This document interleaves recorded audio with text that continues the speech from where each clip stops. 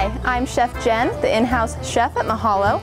I am going to show you how to make nigiri for sushi and also mako sushi. Mako is the roll and nigiri is the piece of rice with the raw fish on top.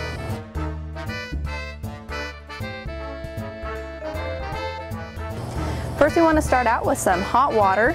This will be good to put your hands in so the rice doesn't get all glutinous in your palm of your hand.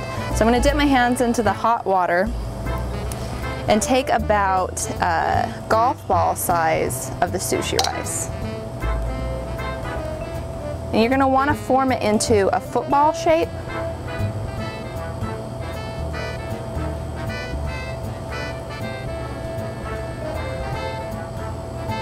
And after you get that nice football shape, we're going to take a little bit of wasabi that I prepared earlier and put just a tiny bit on top.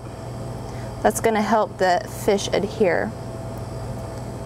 I have some slices of sushi grade salmon. When you make sushi at home, be sure to buy sushi grade. They treat it differently so the parasites are gone and it's okay to eat raw fish. Put this on my platter. I have some wasabi and some pickled ginger. We'll do that again. I have some unagi, which is freshwater eel, and it's very, very good. So again, take a golf ball size. And shape it into the shape of a football or an oblong egg. Grab just a touch of wasabi, place it on top. Then a place uh, a piece of the unagi. And there you have the nigiri sushi. Next I'm going to show you how to make a roll. It's good to have hot water, that rice is very sticky.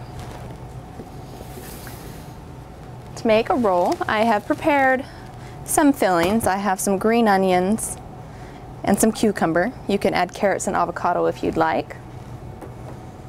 Here is my mat for rolling. Push this to the side. I'm going to take a piece of nori, which is a dried seaweed, and place it on the mat. I'm scoop out some rice.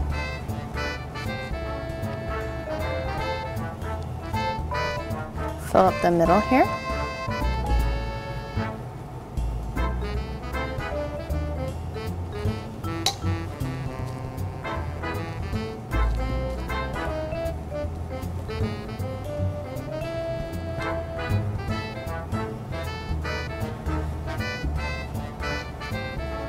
Add a couple slices of cucumber, a couple slices of the green onion, and this one I'll put some salmon in.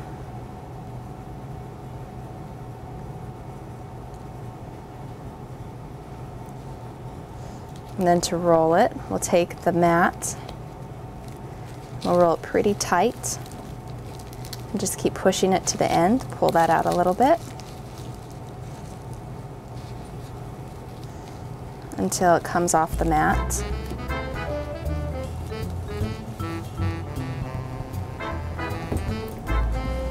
Then you'll take a cutting board and a pretty sharp knife so it gets through the roll without damaging it.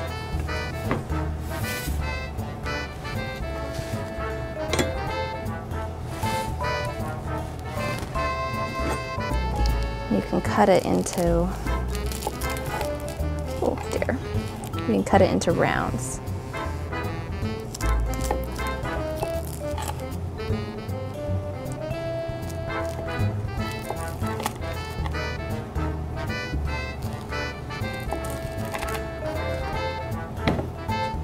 You can put the rolls on your sushi platter and serve that with some soy sauce.